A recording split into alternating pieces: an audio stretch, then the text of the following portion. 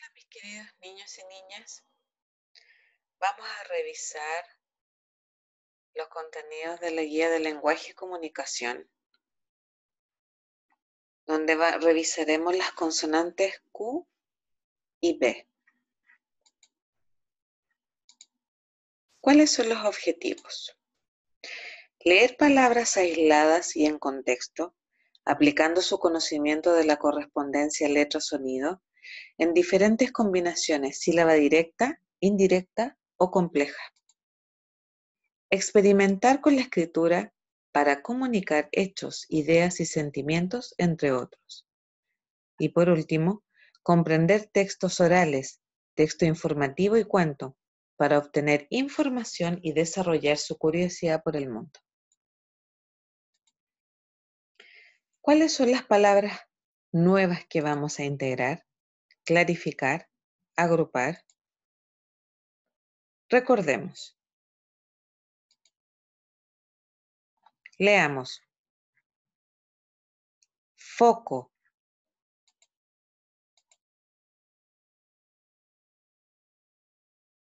Famoso. Jardín. Jirafa. ¿Qué letra estudiaremos? Quieta come queso y mueve la quijada mientras lee el Quijote en la quebrada. Correcto. Es la letra Q.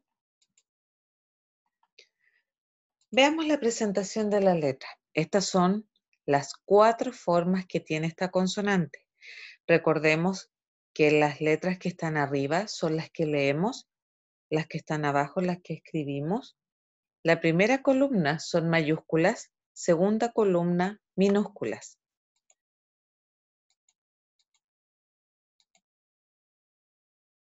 Yo soy la Q, nunca me suelto de la mano de la U somos como un equipo.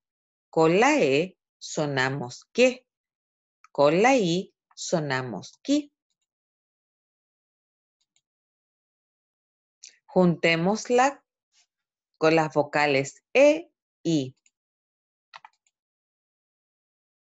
Recuerden que esta letra nunca va sola, siempre va de la mano con la U. Con la E suena que, con la I suena Ki. Que, ki. Completa con las sílabas que o ki.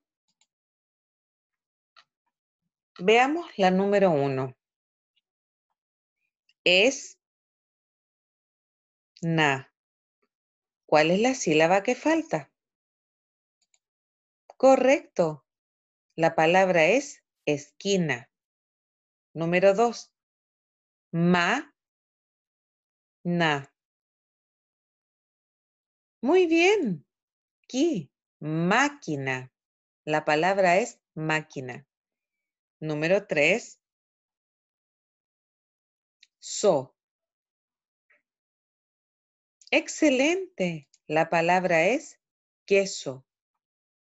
Número cuatro es mal. Muy bien. La palabra es esquimal. Número cinco.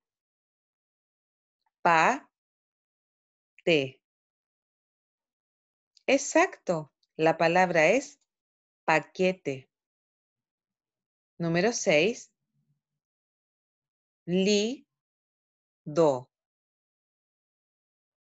Correcto. La palabra es líquido. Leamos. Queso. Iquique. Poquito. Esquina. Maqueta, quemar,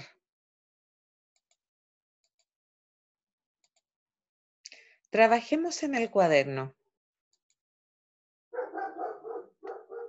Copia en tu cuaderno las cuatro formas que tiene la consonante Q. Luego, grafica una línea completa de la consonante mayúscula y luego una completa de la consonante minúscula. Y en tu cuaderno se debe ver así. Luego, en la siguiente hoja, coloca, únela con la vocal E y con la I formando las sílabas que, qui. Después, clasifica según corresponda esta cantidad de palabras y las vas a clasificar en nombre, animal o alimento. Y se debe ver en tu cuaderno así. Practiquemos en el texto escolar. Utiliza el texto escolar de Leo I, tomo 3, en las páginas 60, 61, 67, 68, 71, 72, 73, 74, 75, 76, 77 y 78 del Leo I. Tú puedes. Encontrarás la siguiente imagen en el tomo 3, Leo primero. En esta clase responderás la prueba del periodo.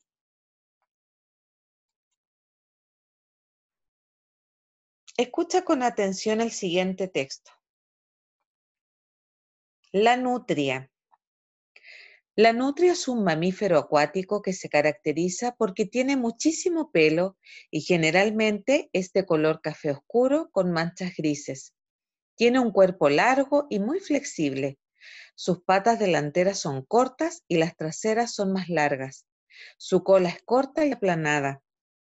La nutria vive en los ríos o en el mar y es una excelente nadadora. Se alimenta de erizos, almejas, lapas, pulpos, peces y otros animales de los ríos o el mar. Las nutrias viven en grupos y son muy juguetonas.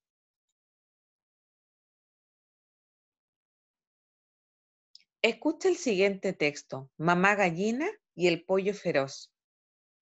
Había una vez una gallina que vivía en el campo. Tenía cinco hijos a quienes cuidaba todo el día. Eso la cansaba mucho, pero no le importaba porque era una gallina muy feliz. Su hijo más pequeño era un cocodrilo. Ella lo quería como a sus propios pollos. Él, a cambio, se portaba muy bien. La única sombra en la vida de mamá gallina era un terrible dolor de muelas. Sus hijos eran muy pequeños y no quería dejarlos solos así que decidió llevarlos con ella al dentista. En la sala de espera, el ruido del dentista asustó a los pequeños. Por suerte, mamá gallina los tranquilizó y los hizo sentir mejor. El dentista los examinó uno por uno, pero no encontró nada. La pobre gallina estaba tan cansada que simplemente había olvidado que no tenía muelas. El pequeño cocodrilo era el único que tenía caries. Le encantaba comer dulces. El dentista le curó las caries. Cuando terminó, le dio un hermoso cepillo y una pasta de dientes y luego le explicó que un cocodrilo no come dulces sino carne. ¿Qué tipo de carne? preguntó el pequeño cocodrilo. Mmm, un buen pollo, por ejemplo, respondió el dentista. Pero el pequeño cocodrilo no era un ingrato y quería mucho a su mamá, así que prefirió comerse al dentista. Después regresó a casa con su familia y su hermoso cepillo de dientes.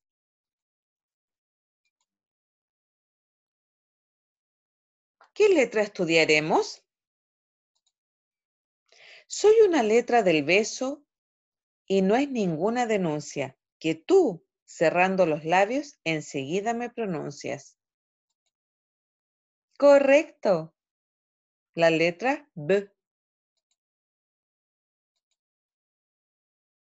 Observemos la presentación de la letra. Estas son las cuatro formas de la letra B. Las de arriba son las que leemos, las de abajo, las que escribimos.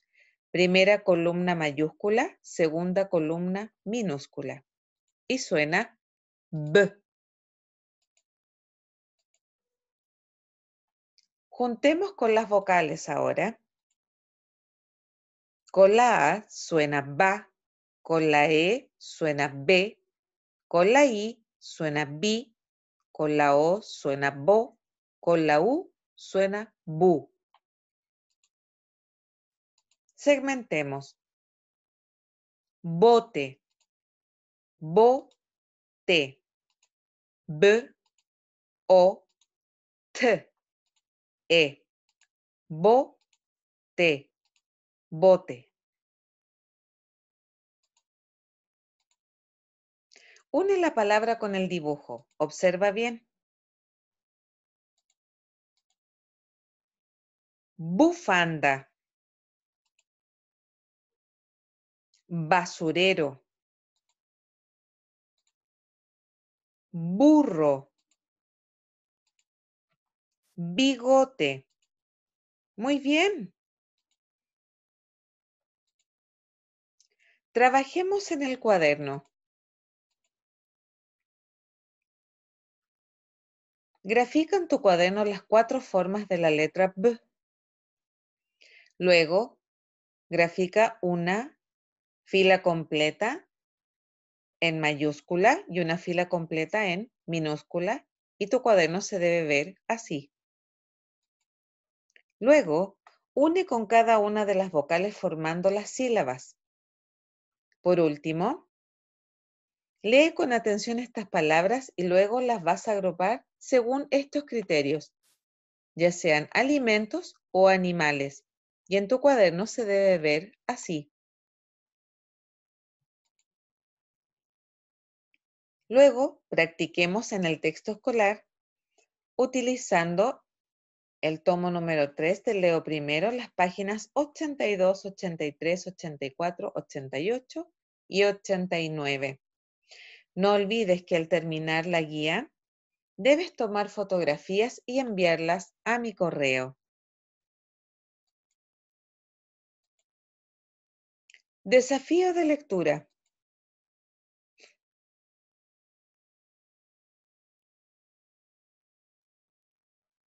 Me quedé en la casa.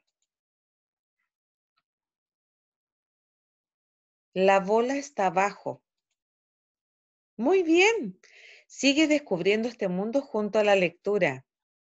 Excelente.